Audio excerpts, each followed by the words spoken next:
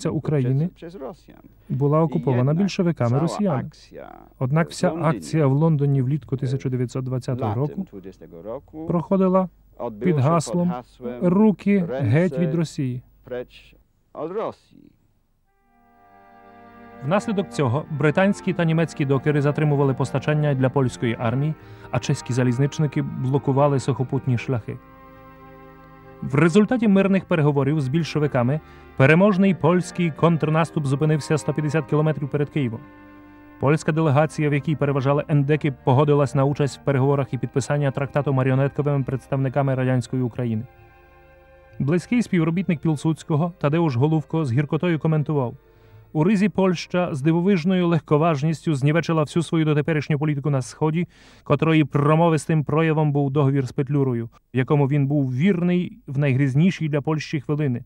А ми залишили, зрадили Петлюру. Ленін, який війну з Польщею визнав вельми важкою поразкою, досягнуте перемир'я оцінив як блискучу перемогу. Союзницька українська армія залишилась наодинці з більшовиками.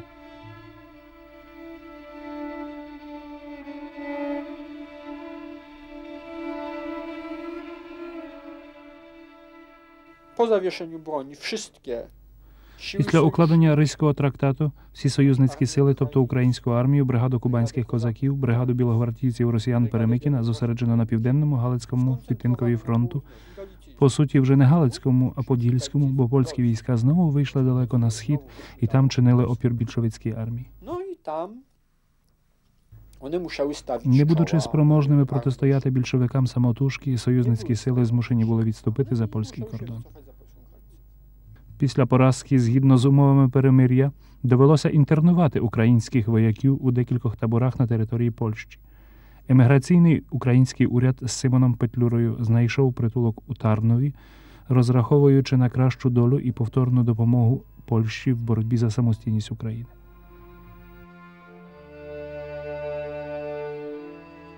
Wśród żołnierzy panowało niezadowolenie, wybuchały Олександр Коленчук, Південно-Східний науковий інститут у Перемишлі.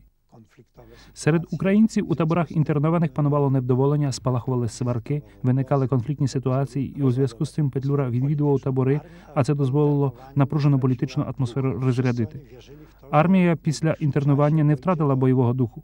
Всі вони вірили, що найближчим часом повернення в Україну буде, і в цьому напрямку йшли всі зусилля. Збережені архівні документи показують також, що відбувалося це при неофіційній підтримці польської сторони.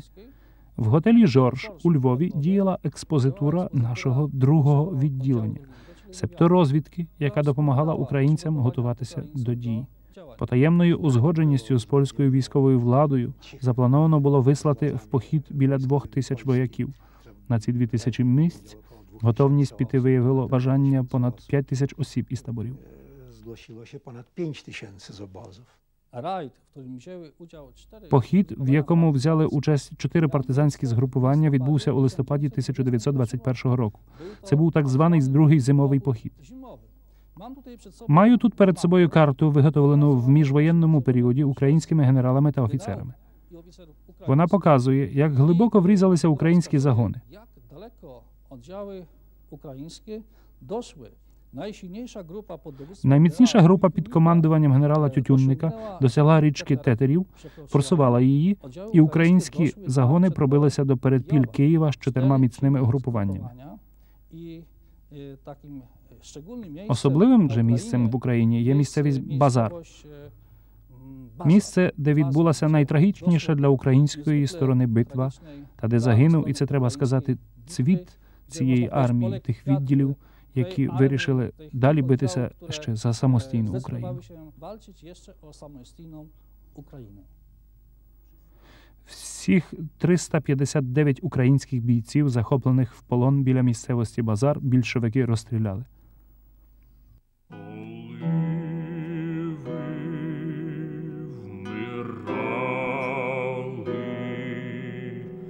Вам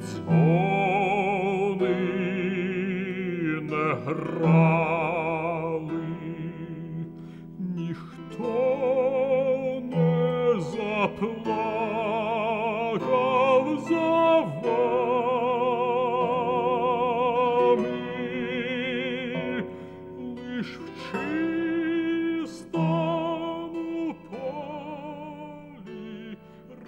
залишки учасників другого зимового походу пробилися до Польщі, потрапляючи знову до прикрих таборів для інтернованих. Пілсудський, знаємо, зберіг сентимент до колишніх товаришів по зброї, сентимент до великого задуму, який не здійснився. sentyment dla e, wielkiego planu, który się nie Він знайшов у собі сміливість, щоб податися до табору інтернованих у Szczypiorni та перед фронтом інтернованих там українських офіцерів просити у них вибачення. Панове, я вас перепрошую. Я вас вельми перепрошую. Пам'ятаємо, що це не була лише українська поразка. Це була також велика поразка Пілсудського. Рицький трактат був особистою політичною поразкою Пілсудського.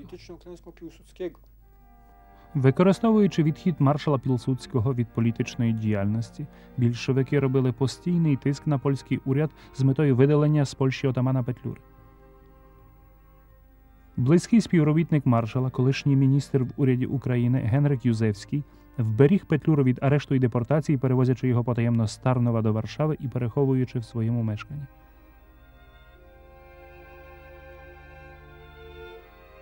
Згодом розміщено було отамана в безпечному сховищі у іншого довіреного пілсудчика в маєтку неподалік Груйца, де Петлюра переждав бурю. Далі він сім'єю поселився на вулиці Мокотовській у Варшаві.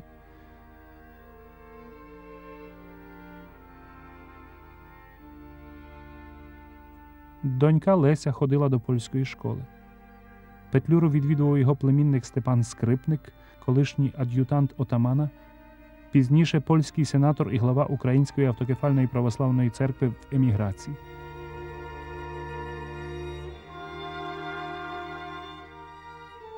Отаман Петлюра не мав, не плекав супроти Пілсудського та Польщі жалю, претензій. Петлюра завжди говорив про Пілсудського з почуттям і зворушено. Ворожі маршалу Пілсудському, відлученому від реальної влади чергові польські уряди, різними натисками примусили Петлюру до виїзду. Наприкінці 1923 року він оселився в Парижі, не припиняючи політичної діяльності. І він створив журнал Тризуб, і в ньому багато писав. Писав або під своїм прізвищем, або під псевдонімами. Е, Ті писання відбивались на е, большевиках. Вони відчули, що Петлюра не впав з упадком програної війни, а свою роботу далі веде е, вже не зброєю, але політичним словом. То є зброя дуже поважна, і вони його боялися. Довірений посланець Пілсудського Тадеуш Голувко мав постійний контакт із Петлюрою. Голувко ще в 1919 році був прихильником союзу із самостійною Україною, а згодом здійснював програму Пілсудського, яка передбачала співдію Польщі з народами підкореними для їх визволення. 1925 року Петлюра приєднався до створюваної Голувком в Парижі організації Прометей, яка згуртовувала також еміграційні уряди Грузії та Кавказьких держав.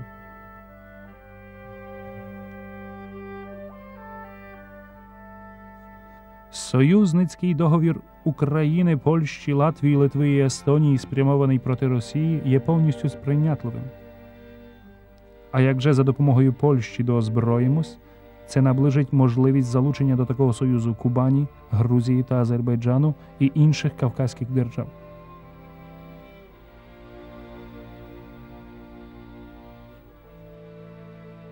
Повернення до влади Пілсудського в 1926 році розбудило надії українців.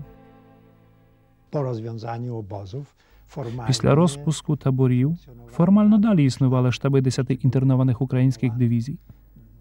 10 e, dywizji ukraińskich. І коли Пілсудський перейняв владу, то дозволив утворити штаб міністра військових справ, генерала Сальського, котрий розпочав роботу над мобілізаційним планом про всяк випадок.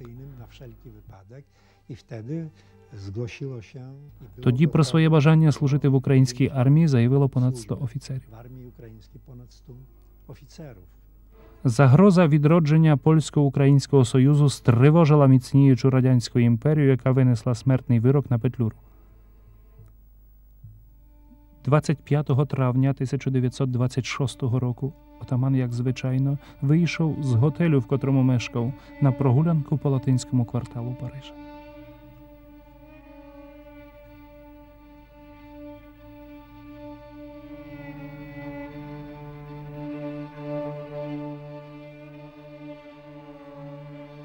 На вулиці Расін якийсь невідомий зачепив його словами. Пан Петлюра. Пролунало сім пострілів. Смертельно пораненого п'ятою кулею отамана завезли до найближчої лікарні, де він через годину і помер. Тепер там Українсько-греко-католицький собор святого Володимира. Niewątpliwie to było bardzo dużym wstrząsem. Без сумніву, це було великим ударом для мене і думаю, що для безлічі людей. Не підлягає сумніву правда, що це вбивство заінспірувало НКВД. На судовому процесі Саломон Шварцбарт, французький громадянин, що народжений в Росії, хвалився своїм вчинком, доводячи, що це була справедлива відплата за погроми українських євреїв, які вчинено, начебто, за наказом Петлюри. Багато років пізніше виявилось, що вбивця, який служив у Червоній армії під час її нашестя на Україну, діяв за дорученням більшовицької розвідки.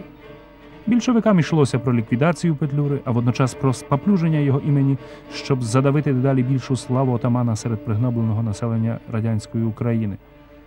Правда ж про погроми була зовсім інша. Вже від перших своїх юридичних актів влада Української Народної Республіки засуджувала антисемітизм.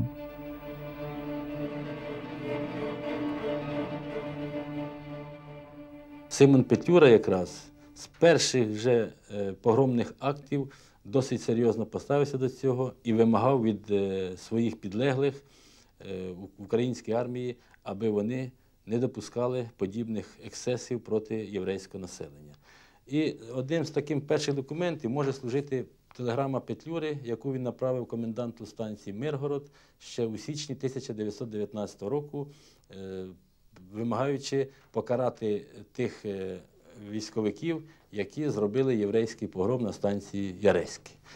Е, Треба сказати, що Петлюра і в подальшому е, дуже суворо відносився до цієї проблеми, і ми знаємо кілька постанов уряду УНР з цього приводу. Тобто уряд, яким керував Петлюра, був противником будь-яких насиль, не тільки власне над єврейським населенням, а взагалі над іншими національностями, і вимагав цього від своєї армії. Якщо до Петлюри доходили е, звістки про те, що армія УНР, якась частина, чи е, причетна до такого ексцесу, Петлюра одразу ж е, накладав відповідну резолюцію і доручав спеціальній слідчій комісії, яка була утворена декретом Петлюри для розслідування погромів, розібратися.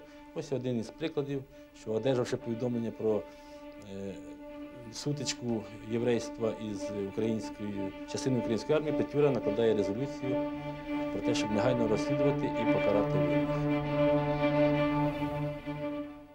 Zupełnie jasna, prawda? Jeżeli- Цілком очевидно, що оскільки вбивство Петлюри було саме так сприйняте французькою громадською думкою, то це насамперед спричинила діяльність єврейських кіл, які звинувачували саме Петлюру у погромах і антисемітизмі. Із статті, опублікованої в паризькому журналі Культура, виникає, що заінспірований Пілсудським 1927 року прибув до Парижа Єже Стемповський, син Станіслава, що був однією з головних постатей польської масонерії. Ішлося про те, щоб пробитися до французької масонської ложі, видатним членом якої був Торрес, адвокат вбивці.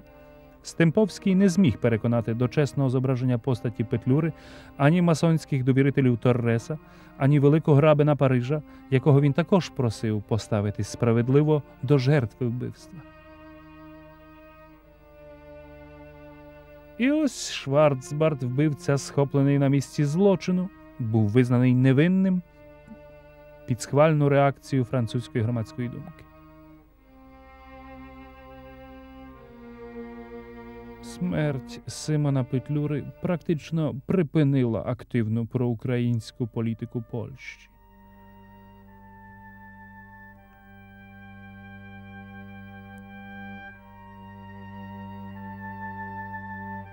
Ідея Союзу ожила щойно після падіння комунізму коли повністю суверенна Польща, як перша держава в світі, визнала добуту Україною в 1991 році самостійність.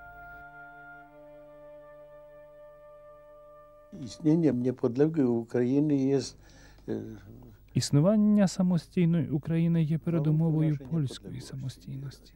Незалежна Україна для Польщі значно важливіша. Я б сказав, думаю, без перебільшення, набагато вагоміша навіть від членства Польщі в НАТО.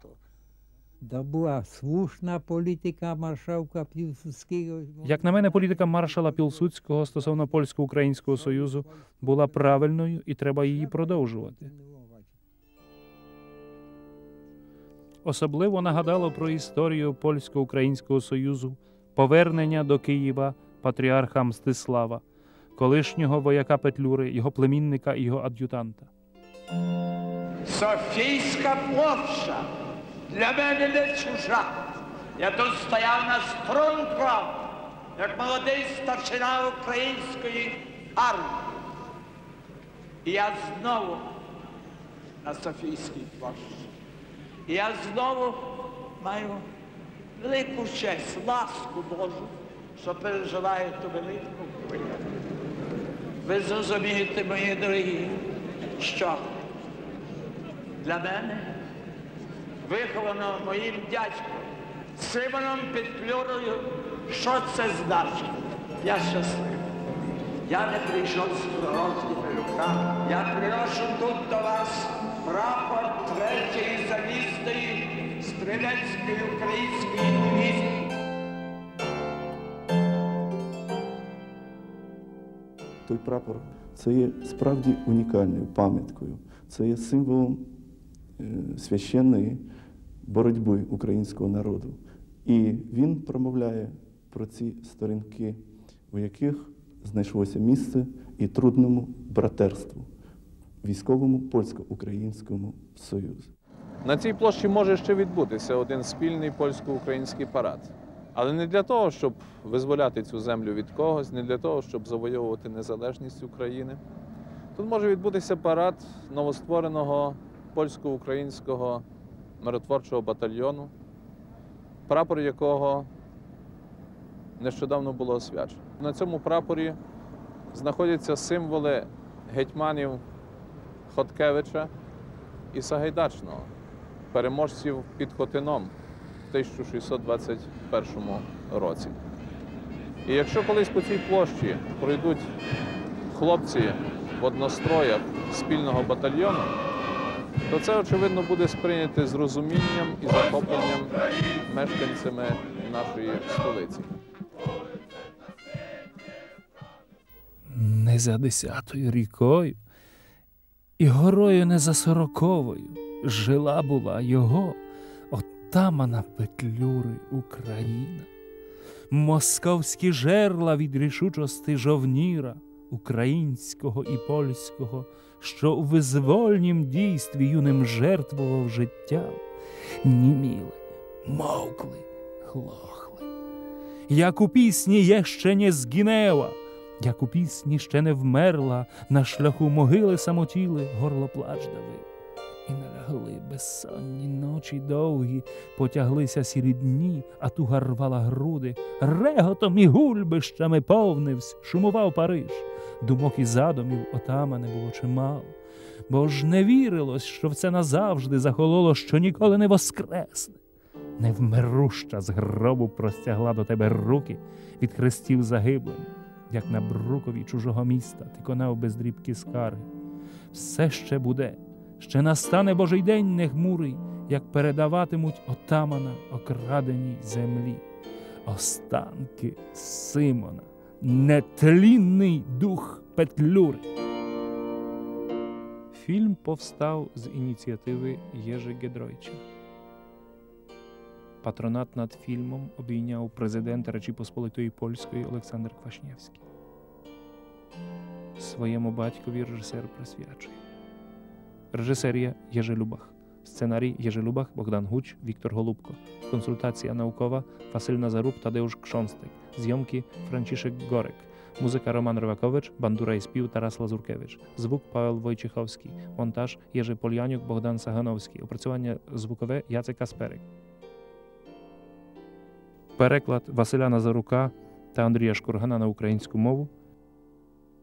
Вірш Дума про отамана Здіслава Кунстмана переклав на українську Остап Лапський. Читав Андрій Шкурган.